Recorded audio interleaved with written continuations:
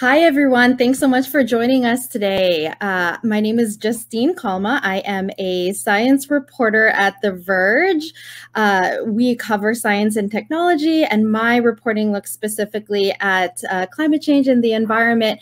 Uh, I also have a, a focus on environmental justice and equity. So I'm really excited for our discussion today on equitable recovery for public spaces and city planning. We have some fantastic panelists. Uh, and so uh, we can start with some introductions so that you all can get to know each of our panelists a little bit and, uh, and the great work that they're doing. Uh, so I'll start off by um, introducing uh, Katharine Lusk, who is the executive director of the Initiative on Cities at Boston University, where she spearheads university-wide programs and urban research. And I will hand it over to Katharine to, to tell us a little bit more about herself and her work. Hi, thank you so much, Justine. It's a pleasure to be with all of you today. Um, as Justine mentioned, I serve as the co-director and founding executive director of the Boston University Initiative on Cities. We are a university-wide research center at BU, so I have the pleasure and privilege of working with faculty in the social, natural, and computational sciences, as well as in public health.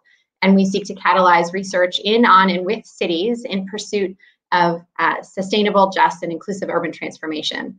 We also create experiential learning opportunities for students and connect them to um, uh, internships and uh, course-based work in cities. And I'll, I'll end by saying we were actually co-founded now many years ago by the late mayor of Boston, Tom Menino. So one of the major projects that we spearhead is the Menino Survey of Mayors. And we have the pleasure of interviewing over 100 mayors across the country every summer. I'll talk about some of those findings today, even though we're in the field right now and about halfway through our interviews but we've learned a lot about how mayors approach equity, equity in the public realm, and a lot of the challenges that they're facing as we not emerge from the pandemic, uh, but as we try to look down the road beyond it. Thank you so much. Thank you, Katharine. And then next we have Christian Bannister, uh, who is a Digital Experience Design Direct director at Gensler. Uh, Christian has been conceptualizing, designing, and developing award-winning interactive experiences for more than 20 years, and I will uh, throw it over to, to Christian. Great, thanks. yeah, so I think um, you sort of stole a little of my thunder there, but I'll pick it up. Yeah, so I, I um, work with Gensler and we, I work with the DXD team, and really what we do is we work at the intersection of people, place, and technology. So it's really about integrating technology and really kind of finding opportunities to integrate content and data into the built environment. Um, we're we're currently, I should mention, we're currently matching a grant uh, with the Knight Foundation for a project called Urban Periscope, where really the goal is to increase awareness of, of, of data for um, civic engagement. Really, it's to sort of like um, kind of really onboard citizens to the potential of data by allowing them to get their hands dirty in a playful augmented reality uh, experience that we're sort of um, integrating into the urban uh, experience. And that's been really interesting and um, exciting for us to kind of you know push new technology and these new opportunities to connect with people and really get them excited about data and what's possible. So this is really uh, what I'm bringing today. Um, hopefully we can talk about it more. Thank you, Christian. Uh, we will talk about it a, a, a lot more, I'm sure, during uh, our discussion. And then we have um, Melissa Gaston, who is the co-founder and executive director of the North End Community Coalition in Charlotte, North Carolina. Uh, Melissa is a community organizer and also a realtor with with her own firm. And I'm really excited to, to introduce uh, Melissa Gaston. Hello, everyone. Glad to be here. Thank you very much, Justine. Um, I am the co-founder and the executive director for the North End Community Coalition. And here in the North End, uh, we're just about a mile and a half outside of the city of Charlotte, um, but we are trying to bridge the digital divide and connect our residents with the resources that are out here and available just to make their, their lives a little easier. Um, definitely on the ground, working with the community, connecting them to all kinds of resources and people and just um, being in the trenches, as I like to say. Thank you. Thank you. Um, I love that you're you're in the trenches. Um, hopefully, you can um, bring that view into our, our conversation, and we can kind of join you there as we dive into uh, discussing equitable recovery. Um, you know, the first first things first, um, I wanted to ask how you all have seen the pandemic exacerbate existing mm-hmm. inequities um, or create new ones, um, and how you know how how can we then address those inequities?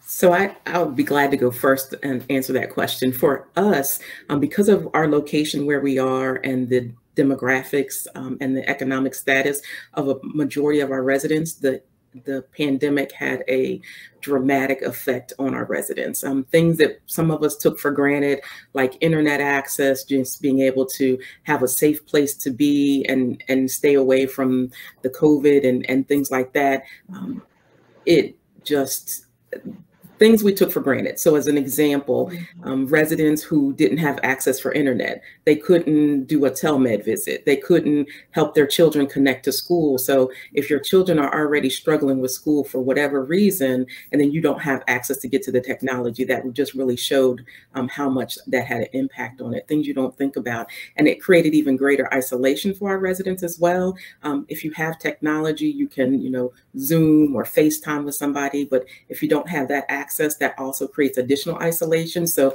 they're already telling you to stay in your house and stay safe, but you can't even connect with your friends and neighbors and relatives um, because of that isolation. So it really um, had a, a demonstrative um, impact on us.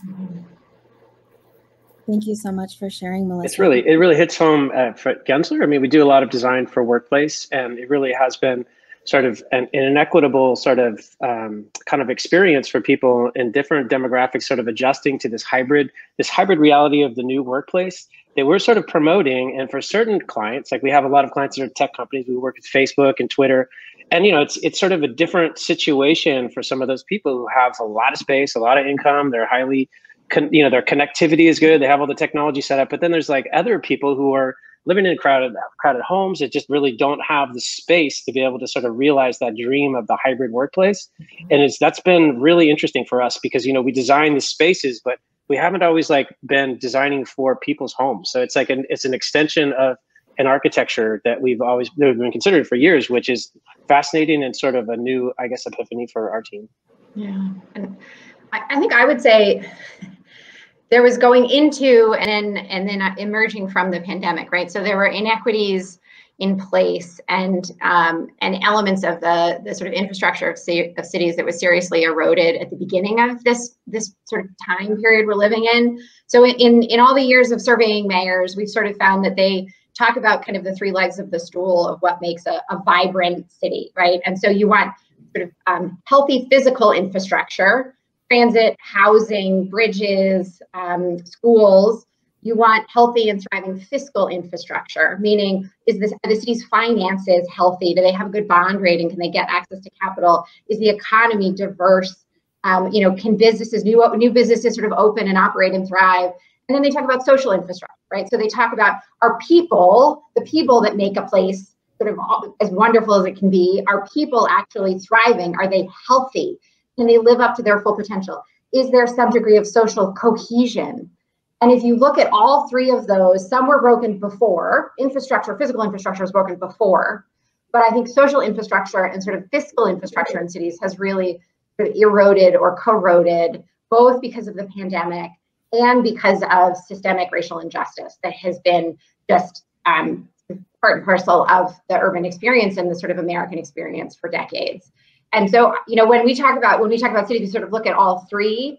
And because you both made such great points, um, I want to like tease with a little close by sort of teasing with a little point that's come out of the Menino survey so far with our interviews with mayors this summer. We're asking them what are the long-term consequences of the pandemic that most worry them. And we've only done about half of our interviews, but two things are rising to the top. One is um, uh, learning loss among kids, right? That was inequitable going into the pandemic, and it's gotten worse for communities of color and lower income communities.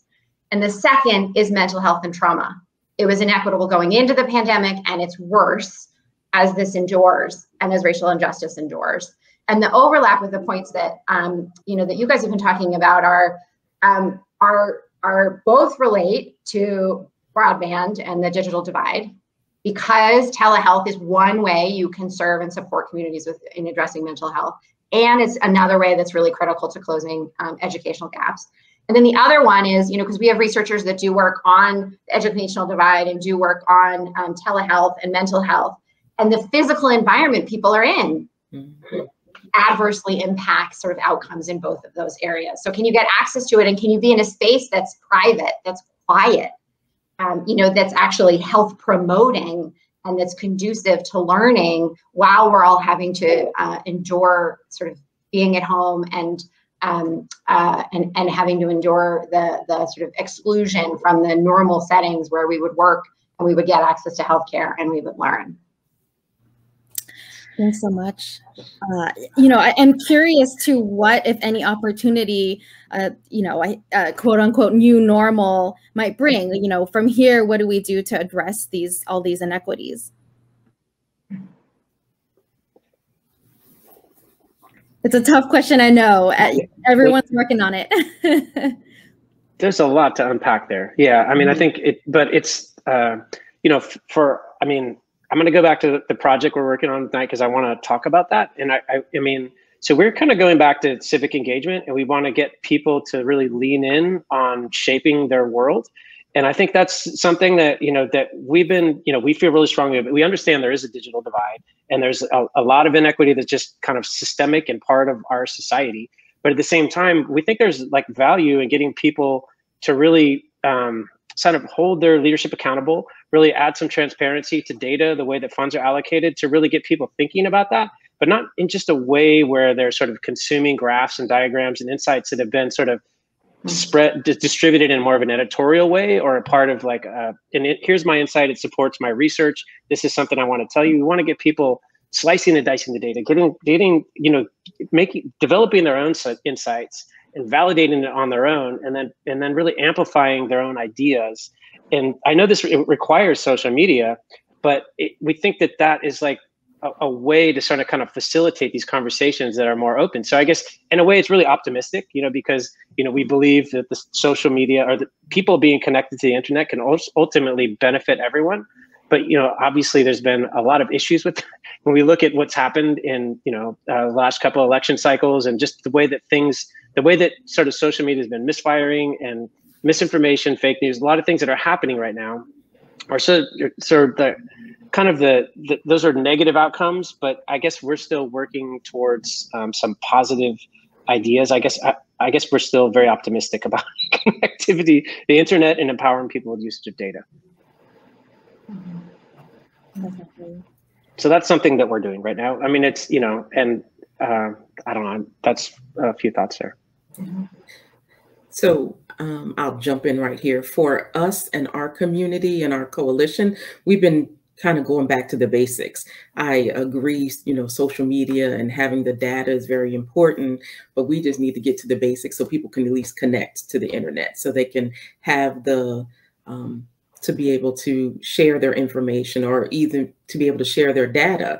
Um, if you don't have that connection and you're not going to people's houses or you're not having these big community meetings where people are able to engage, you're really isolating people and they're not able to provide the data that's needed. And the data that they have um, is very important to change what's happened and to improve what's happened in the past and keep developing and going on. So um, one of the things that, you know, really struck me during the whole pandemic thing. So some kids were able to connect to the internet because they had a device, the school gave them a device, whatever, but they weren't necessarily familiar with it because it wasn't like they had computers in their home all the time or they just used them at school. But the person who was at their house trying to help them may have been an elderly person, you know, a mm-hmm. grandparent or an older parent who did not know how to use that computer or better yet, their parents were the healthcare workers or you know the people that had to go to work. They didn't have a choice to stay home so their kids are home by themselves trying to connect to the internet. They can't connect. They're, they're having difficulties or they're doing what kids do. I don't want to do schoolwork but and so right. that's a whole missing thing. So there's definitely that um, that aspect as well. So I, I just don't know how we can come together and collect the data and, and do those things so we can improve upon it without connecting to the people. We have to figure out a way to connect to the people and really be able to institute change that's going to be effective for them. Mm-hmm. Mm-hmm. It's a great point. There are some, you know, the, the numbers are improving as far as like connectivity and, and people who are sort of have access to smartphones and mobile devices. I mean, over the last 10 or 20 years, you see like, you know, huge, really positive trends and movement in that direction. And I think an interesting dimension of this is the way that people, you know, use connectivity. Some some people that you know, will not even they'll be more consumers than um, producer. You know what I mean? So it's more about like people will be connected, but they'll be streaming video and things like that, and maybe not even know that they're connected in a way where they can actually be um, leaning in as opposed to leaning back because i think it's something we think about a lot is like what is the posture of that sort of digital experience i mean are you leaning back and watching something and you know playing a video game? Maybe it's even a little closer to leaning in. But this idea that you know there is the potential for some people to just shift their posture and become more involved and realize totally that there are still inequities. But i think that's an interesting dimension. I just wanted to point out that's the problem. I mean I'll, I'll i'll stay on the topic while we're on it. I'll stay on the topic of community engagement. You know i think change um, change certainly change at the local level. Mayors will say that it's the most personal job in politics. Um, and I think constituents will say, you know, uh, it requires a certain degree of relentlessness and vocal advocacy and activism to really affect change, uh, meaningful change, right? Change with dollars, change is sort of allocating resources. And I, one elected official told me, you know, it's not enough to be on the list of priorities for us you want to be one of the top three items. And that's where the advocacy and activism comes in. Is like, how do you actually get an elected official to say that thing is one of my top three, and I will get it done, and I will get it done now. Um, I, you know, I look at community engagement, and I think um, about the inequities again that we had going into the pandemic, and that have endured during the pandemic in community engagement. So my my colleagues at BU, um, Katie Einstein, Max Palmer, and David Glick have studied this uh, issue at length looking at inequity in the zoning process and look at, looking at inequity in how new housing gets constructed in cities, right? And what do they find? They find that the people that show up to zoning meetings tend to be older white male homeowners, often with a legal background. And they're protecting their asset, and so they're precluding new new housing and particularly new affordable housing from getting built. And what they've actually been looking at is has the shift to remote citizen engagement um, sort of uh, lessened inequities during the pandemic. I won't speak for them, but the the, the initial lessons are no, it, it, hasn't reduced inequity. That the shift to digital engagement still um, uh, and the current processes we have still create more space for the most um, vocal and the most privileged to turn up and speak in opposition to things that are uh, really serving the greater good for the community. And so I think there are things about the process of community engagement that that continue, unfortunately, to be broken. For sure. And you all have touched on this already, but are there ways to use the power of data to, to uh, highlight where we need more targeted investments? Certainly. I mean, I think that I think that it starts with transparency, but it also it is really about that engagement because the data is there. It's just that people aren't mm-hmm. using it. And I think you know there's there's no real kind of gateway or real invitation in to sort of using it in a mean, meaningful way.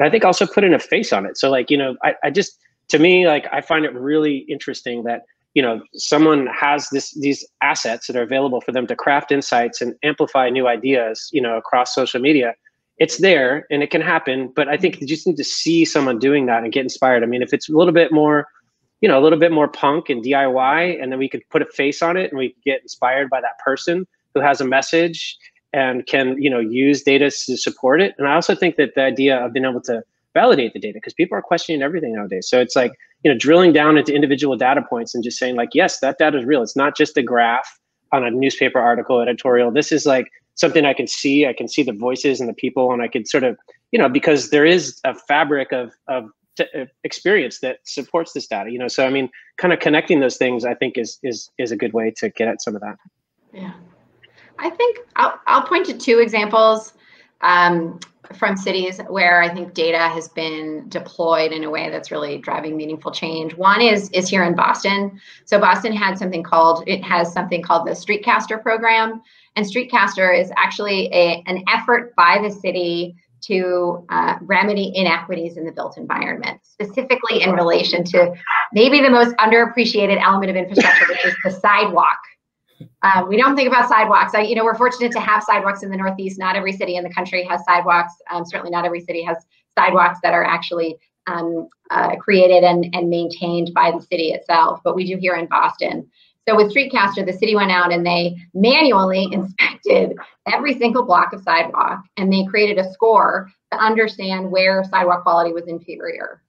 They over, but but that created a, a, massive list, right? Millions and millions of dollars, far more, far more money than they could ever put into fixing all those sidewalks in a given year with a given capital budget. And so they overlaid that with sociodemographics of the neighborhoods, and they overlaid it with transit access to try to understand where there are lower rates of car ownership, meaning more people are walking, more people are walking to transit, more people are taking the bus. And they use that to pinpoint and allocate those dollars and prioritize investing in neighborhoods with the worst quality sidewalks that really use them, right? That are high users. At the same time, they tried to actually fix the 311 system because what was happening was wealthier neighborhoods, this is data, wealthier neighborhoods were calling to have the same darn pothole fixed over and over and over again mm-hmm. And they were getting they were the squeaky wheel and so they were actually getting all of the attention and all the dollars of those sort of patch remedies. And so they were the city said no we actually have to fix the system. It can't be response time and we're going back to the same neighborhoods again and again. We actually have, have to be reallocating dollars to permanent upgrades in neighborhoods that see less investment and be more responsive to the neighborhoods that are even less likely to call to fix the problem. So that's one. And the second one i'll say quickly is the city of milwaukee also the city of minneapolis actually created um, parks master plans that took into account both the quality of parks and the demographics of the neighborhood surrounding those parks. And so they were, again, scarce dollars, scarce resources. How do you allocate them? They actually were prioritizing both places that had um, sort of inferior quality that were due for upgrades and neighborhoods where they have sort of a higher number of users, lower income users, um, and, and sort of a density of users so that they they were allocating those dollars in a way that they were having the best and most effective impact and remedying historic inequities. Those are two things that I think tie the data to the dollars. Yeah, those That's are amazing. Yeah those are two very good points. I see both of those happening in the city of Charlotte. Um, you know, the sidewalks and not having the sidewalks. Well, we don't have sidewalks all over Charlotte. So some places do, most older places don't have them. And the people who use the sidewalks are not the ones who have the best sidewalks. So, but the people who call and complain are the people who live in the south end of town or what they call the, the wedge. And those are the individuals who make all the noise. So they get all the, the improvements and they get all of because they know how to um, and it's it, it, it's just it's amazing. And then the other point that you made again about um, you know milwaukee and uh, i mean it, it's true here. And it's just it's amazing just like zoning. Um here with zoning if you don't you see the yellow sign but by the time you see the yellow sign go up or they put a sign announcing it it's probably too late you know? Um, where other places the developers are meeting with the residents to find out what they want and what type of changes and effectuating those changes based on what the citizens are saying but here they're not doing that. And so you're right um, they get on and complain or they send a letter to city council or to whoever the zoning and they send all those you know requests electronically um, through the internet using that social media to do that. And then the other people aren't here. When they have meetings they're you know in the middle of the day when they're at work because they have to be at work. So the inequities are still there. Um, the data i just i'm at a loss. Really i know that's what you do christian for the data. And if we can just translate that and somehow and bring it down to the people who are less who are more impacted by the lack of data would be a great. We have to figure out how to do that and how to make it correlate that all resonates with me. I feel like my work is a lot of uh, turning data into stories um, and uh, you know highlighting how that actually affects people's lives. And when it comes to things like sidewalks and, and green space, that's something I've reported on too. Um, how important sidewalks are for mobility, especially for folks with disabilities, and in the wintertime when there's inclement weather, which we're seeing a lot more of um, recently. Um, and uh, you know places like parks being important refuges when you know we have uh, really bad heat waves like we've seen this summer. Um, although those places aren't always uh, you know accessible and, and equitable. And I, I, think on top of all of those issues uh, the pandemic has also made us rethink how we use public spaces um, and how we're allocating all of the public realm. So i'd love to talk about how you know how can we ensure more equity and access to things like um, parks and green spaces um, um and sidewalks even. Mm-hmm. Well, there's an aspect of this that I think that we're really interested in, and you know, it's really you know when we talk about digital experience, we want to reduce friction. If we want to make this inclusive, I mean, those are drivers that we always go after, and it really it is really part and parcel of the way we design things. We go from a human-centered design approach, so we want to understand the need and how to connect with people in the most effective way, and that's really in you know, and one of the things that we're getting at with some of our new design thinking is like really embedding these things into the environment itself. So when we want to talk about sidewalks, can we look at a sidewalk? And and get an insight related to that site you know so the data isn't so, so much of an abstraction. It's not the planner view. It's the view from inside that i can start getting these insights. And i really think that you know distributing them it maybe it doesn't even require connectivity. I mean we talk about ways of you know integrating these you know these data dashboards and views and insights into the environment itself. I think there's a lot of options there you know and that's you know it just we're just trying to be creative about that and just really kind of opening up transparency because I think it is a lot of a lot of these things are transparency. I mean, you know, we've seen some alarming trends, and you know, in in San Francisco, gentrification is un- unbelievable. I mean, the median house price is completely unaffordable.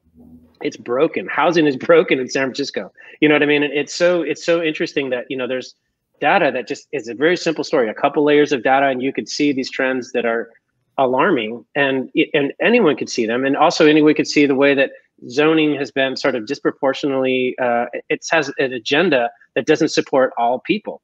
And that's i mean it's something it's also a very clear trend that goes back for 50 more years that you see the way that zoning's been and, and not everyone knows that story. Not everyone has that at their fingertips. Well we all have it at our fingertips. We just don't know how, how to access it and we don't know that we need to or that maybe we should be looking at it. So those are some things that we, we've been thinking. I know there's a lot there but I, it, i'm excited about the topic. Yeah yeah, I mean, I I think I because I was talking about sidewalks and parks. I'll I'll I'll move on to trees. um, you know, I think that's just I use that as an example because it's one area where there's been get there's been a lot of media coverage on the relationship between things like tree canopy and, and historic redlining, right? And then and then we know scientifically we know that there's a relationship between things like tree canopy and air quality. And air quality is one of those issues that we know there's tremendous inequity um, it's becoming a pro- more prominent issue. As you know, I was telling you guys before this all started. Um, we were hit with the smoke from the forest fires, even here in Boston, even though we're you know miles and miles away from them. Um, uh, trees can't solve that problem, but they are an important part of improving air quality in cities. And so when you have, when you look at a map and you look at neighborhoods, historically neighborhoods of color and lower income neighborhoods, you see far less tree canopy. Um, but mapping that is really expensive. And I think one of the things that has been exciting is seeing new resources that are coming out that are really national. And so I'm gonna, I'm pointing to one I just looked it up to share with everybody. The American Forests, if you haven't looked at it, has a new tool out that actually maps tree canopy for cities all across the country and you can drill down into your own neighborhood if you actually want to see. And then it looks at not just where are the trees, but what are the actual benefits or the benefits you're missing out on if you don't have that tree canopy.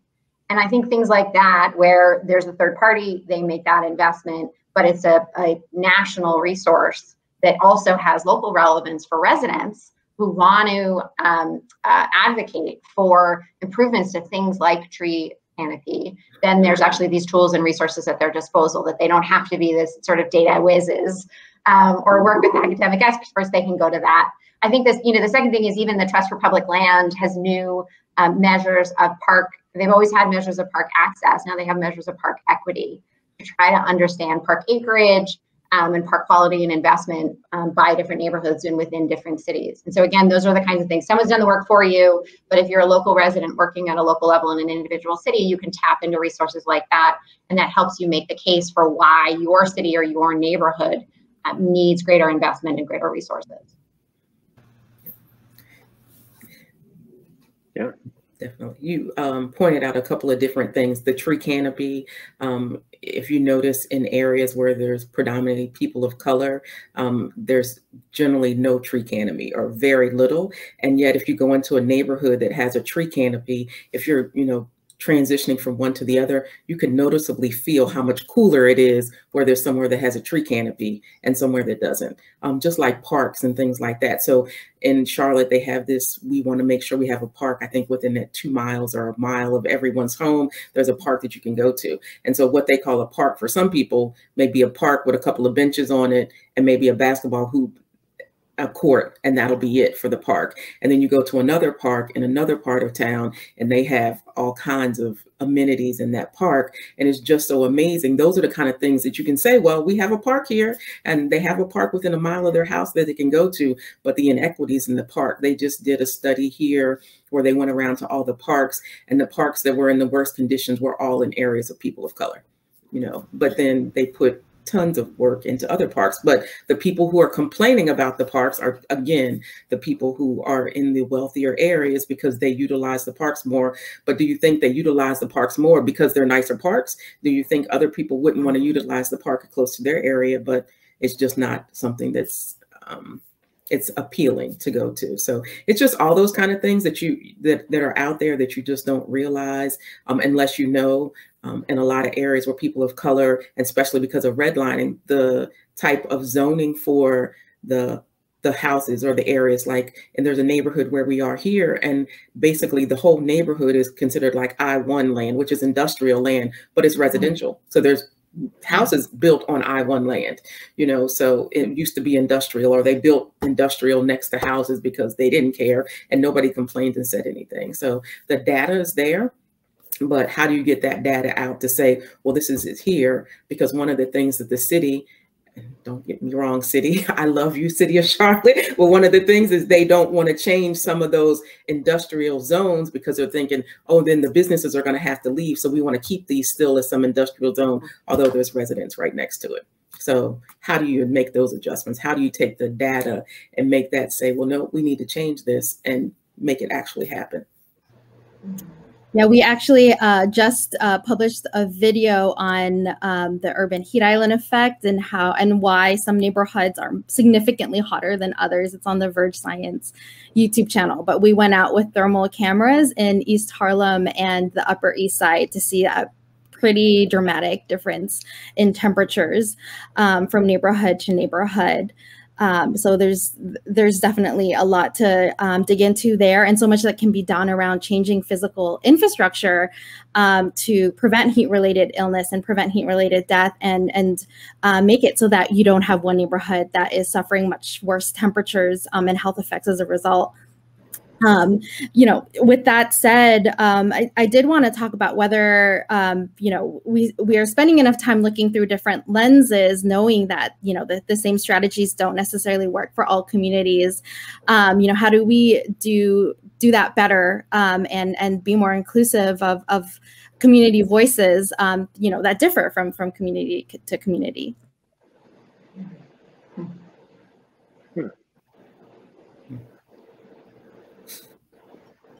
I think this is touches on a lot of the civic engagement that we've talked on before. But yeah, I mean, um, the strategies are are there's no one size fit all fits all. yeah, I mean, I I think you know one example I, that comes to mind for me. I, I think everyone is trying to solve this right now. I don't think I don't know of a lot of great evidence, at least, or even really great examples from cities. I think one one one sort of older example that comes to mind for me was a number of years ago. The city of Toronto the head planner for the city of Toronto recognized inequity in engagement around zoning decisions. And she said, okay, we're going to completely change how we engage citizen engagement, like completely change how we change, we're going to completely change citizen engagement in relation to zoning decisions. And they did a uh, essentially a lottery and broke down the demographics of the city, you know, the age, different racial and ethnic groups, different religious groups in Toronto, and just by lottery sent invitations to different residents saying, Would you like to be part of a community advisory group around zoning decisions in the city of Toronto? And people responded and they applied, but it was a, it was a random process, right? It was trying to get people who would never otherwise be engaged in the city. And so they applied and then they went through essentially like a citizen boot camp to figure out what is zoning, how are decisions, you know, what are the things that we have to worry about, who, what agency does what. Um, and then through that process, they actually came to, um, they became the sort of expert advisory council that was guiding the city rather than just the resident groups with the most vocal people with the most time to kind of show up and harangue elected officials. So that's one example. And I guess the second example would be participatory budgeting, um, you know, which is not a panacea, but a lot of cities across the country have been using New York, you know, Justine, you're in New York, um, city councilors in New York often use it to say, here's a pot of money and let me actually turn this pot of money back over to my constituents. And they come up with the ideas they scope those ideas and they vote on those ideas. And those are the investments. And in boston we have a about a million dollars in capital budget. It's a program called youth lead the change and it's youth driven participatory budgeting. The young people come up with the ideas scope the ideas come up with the ballot and vote on the initiatives and it's a million dollars of the city's capital budget um, that they vote on every year that's amazing. Uh, we're doing a lot to engage kids because we think it start, you know, it starts by like reframing attitudes towards these things and like understanding what, what's possible and starting with a simple story and kind of deepening that understanding. But I think just the hooks from the very beginning we're interested in. There's a museum exhibit that we're designing, which is sustainable cities, which is really gives kids the opportunity to adopt a section of city and it's a projection map. It's high tech city. It's mechanized projection map but the kids can make decisions. Like one of the decisions is the building mix. So it's a very simple idea of zoning. So what is the mix? How do you combine your building mix? And as you do it, you watch your city transform and change, and you and you see the impacts of some of those decisions because everything's a trade-off in a way. And you can also adjust your green space mix. So if you turn up your green space, some buildings drop and turn into parks. I mean, it's all fantasy, but the idea is that kids realize that yeah, I can make, I can shape my city. You know what I mean? This is something that's totally possible. And all these decisions are being made by somebody. And In the future, that could be me. Just even just that realization that, you know, somebody's making these decisions, That all of this is possible. You know, you can, and you can sort of have some agency in your own community and maybe, you know, get involved in these ways. And uh, it's just, it's really 101 stuff. I mean, but I think it's also valuable just to kind of get that reframe some of this stuff. So it's not just like a world that I've inherited, but a world that I can impact. You know, I think mm-hmm. there's there's something there. That's great. Um, I also, you know, I, I really want to hear Melissa's take on this as well, but want to um, quickly open it up to any questions. Um, if folks want to submit, um, we'll continue the conversation um, with, uh, you know, any questions you want answered from our panelists. You can drop them in the chat. Um, but Melissa, did you want to uh, add on? I have a lot to say. I don't know. That's great. Yeah. Let me get my thoughts together. yeah. Let me get them together. Um, I just think that what's I think that's important. Um, what Christian said um, was very important. I love the ideas. I love the ideas um, that everybody has. I just don't know how how do you turn those ideas? So, as an example, um, we had a, a, a project, um, the Smart Cities Engagement, where we worked with the city and our community, and we said, okay, here's some money. We have these, we call them kickstarts, not projects. We call them kickstarts. And they said, okay, here's the kickstarts. You determine from the community what you need and what you want in the community. And the and I think there were four overall that were that were um, suggested by the commit or by the community maybe five, but there were four suggested by the community. But then there was one that wasn't suggested by the community, but they just said, okay, we're going to do this one too. We're going to throw it in there. And that was the one that was least successful. So to me, what that says is if you're inviting the community and you get the community, the community behind, and they're the ones giving the ideas and um, how the impacts and what they're looking for, that you'll be successful in that. So somehow we have to turn this in to say, yes, um, if you have the community behind it and the community is able to provide their input. And I love that idea where they were and people were invited to come and join this committee and they did and they did and then they became the advisory group to the to the rest of the community or to the other groups. That's that's so important because people are thinking oh this is important for me. You know i had an impact in this. And people want to feel valued. So they want to feel that. And because they want to feel valued um, then they're willing to be engaged in it and they're willing to share what they learn so it's not just certain groups of people that are able to to impact change that everybody can impact change because you have the opportunity because you were asked and you were included in the process. So i think those are all things that the cities that we all are in and the areas that we all work in we all just need to go back. And i, I said it again i'm trenches on the ground. So i'm not at the high level with the all the other stuff. I'm like right there in the ground where it's happening talking to the people talking to the residents being in their face, but not in a negative way, but being in their face and talking to them just to get their ideas and get it out and to be able to share that. And that's just so important because I think no matter what happens to be really effective in any type of change, you're gonna have to engage the community. Don't just come to a group and say, hey, this is what we think you want. No, what do you want? Tell us what you want and let us determine how we can do that for you. You know, like how do you want that done? What what does this look like to you? And really ask and don't just ask and not do it but ask and help them give them the resources to do what they need to do to get done what needs to be done for their communities i love that. Um, it's such a great um, melding of, of data and being in the the trenches that we've gotten to to, to have today. Um, thank you so much for all of your insights. Um, and i'm uh, excited to see all of this work move forward. Uh, before closing out, uh, I did want to uh, introduce Lilian Cor Coral, uh, the Director of National Strategy um, and Technology Innovation at Knight Foundation, with some, some closing thoughts for us. Great. Thanks, Justine.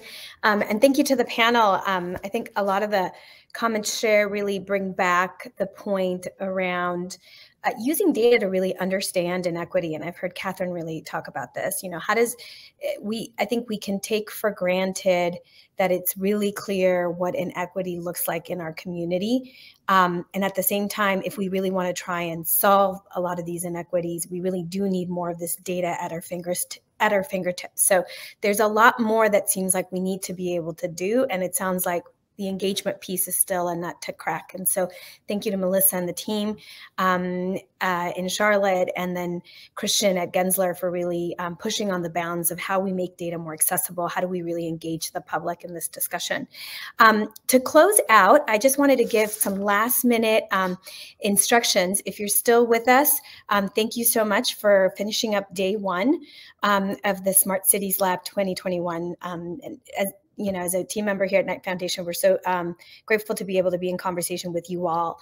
If you are interested in learning more about the grantees um, that are in the uh, on the Hopin platform and beyond, um, we now invite you to visit the Expo Hall. Um, you can find the icon on the left side of your browser, or if you're on your mobile device, you'll see it at the bottom. Um, and if you click on the Expo Hall, you'll be able to actually go into various sessions, see grantees. They are um, virtual booths, if you will, that are being hosted by individuals who are running uh, programs and initiatives across um, the Knight uh, Smart Cities portfolio. And when you click on the booth, um, you'll see a video or some present or Google slide presentations, and you'll be able to interact with them and ask questions, hopefully exchange information, and perhaps you know pick up some ideas for your community along the way. Um, please uh, uh join us tomorrow for day two, just a sneak preview of what's happening. Um, in the morning, we'll be kicked off by Kelly Jin, who is our Vice President of Community and National Initiatives, um, who's going to kick off a day that's really a bit more forward looking. We're going to tackle the issue of mobility um, and equity, and we're also going to talk a little bit more about autonomy. Um, we're going to uh, delve deeper into uh, one of Knight's initiatives um, around autonomous vehicles and autonomy, uh, autonomous devices, and really look at how the public can get engaged with such a sort of forward looking technology, um, but yet that has a lot of regulatory implications today. And so, how do we actually do the hard work, um, as Melissa just alluded to, of working on the ground in the trenches and actually letting community have a voice in all of that? And then we'll also, um, for grantees, have a session from Panthea Lee around strategy and impact and how do we keep our eye on um, impact when there is so much variability and so much ambiguity in the world around us. So please join us tomorrow. And right now, I invite you to um, you know, go through our expo hall and meet others. Thanks so much for joining us today.